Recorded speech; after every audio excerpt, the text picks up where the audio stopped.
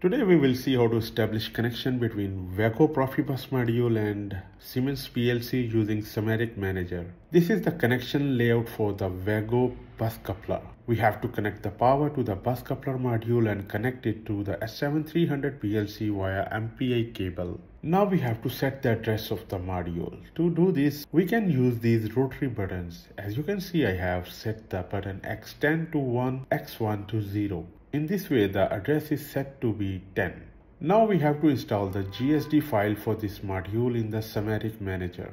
GSD file is a description of a IO device provided by the device manufacturer.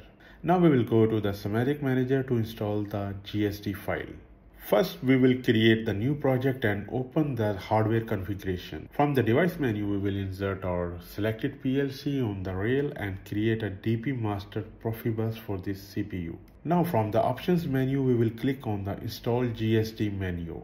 Select the folder path of the required GSD files and click on the install button to install the GSD files.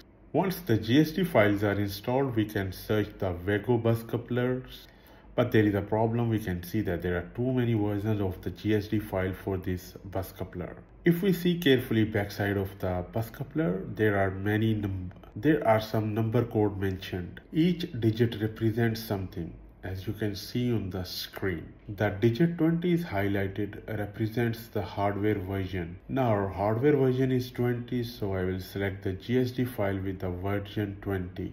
I'll just drag and drop the GSD file, assign the Profibus address in the same way. Same way we can drag and drop the other IO modules for this bus coupler. As you can see that the IO addresses are starting from the zero.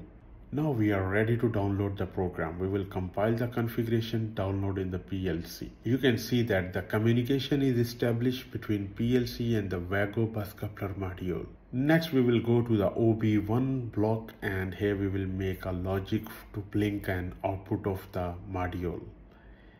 As you can see that the module is working, communication is established. Please subscribe and follow us for more upcoming videos.